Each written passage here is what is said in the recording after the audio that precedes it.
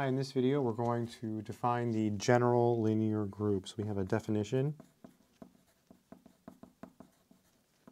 And the definition is as follows. We're going to say the set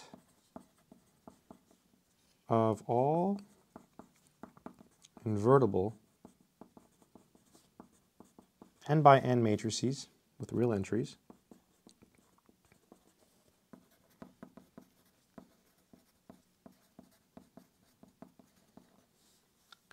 is called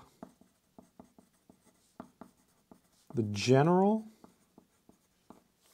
linear group of degree n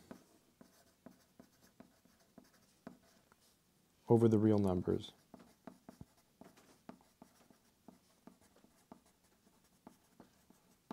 And is denoted